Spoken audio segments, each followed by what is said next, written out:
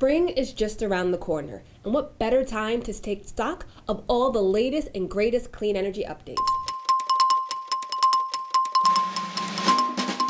First up, big news from the transportation sector. We kicked off the year by announcing America's first ever decarbonization blueprint. This is an incredibly ambitious roadmap for removing all greenhouse gas pollution from our transportation sector by 2050 and DOE helped develop it along with the Departments of Transportation, Housing and Urban Development, and the EPA.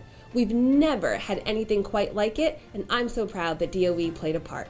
Now, speaking of transportation, electric vehicle sales have tripled since the start of this administration, and these EVs are only going to get better thanks to efforts like our EVs for All program, which is investing $42 million in next generation battery R&D and we want to see batteries getting cheaper, tougher, longer lasting, and we want them made right here in America.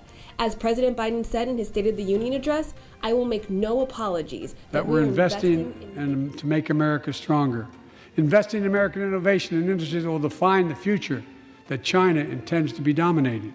Now, we're delivering on that commitment. Since the president took office, we've seen more than $90 billion of private sector investment in American made batteries and solar panels, 158 new and expanded manufacturing facilities, and thousands of new jobs.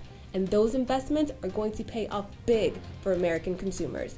Following the State of the Union, the Secretary hit the road to see this progress firsthand in Utah, where geothermal energy offers a clean source of baseload power, in Reno, Nevada, where $2 billion in a DOE loan is helping recycle old EV batteries into new ones, and in Massachusetts, where a company is working to realize the immense potential of fusion energy to power our world.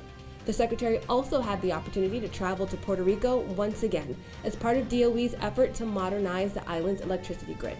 She heard from the island's residents and its leaders about the devastation caused by their outdated, unreliable electrical system and she saw rays of hope, where distributed clean energy resources like microgrids helped keep the lights on during recent storms.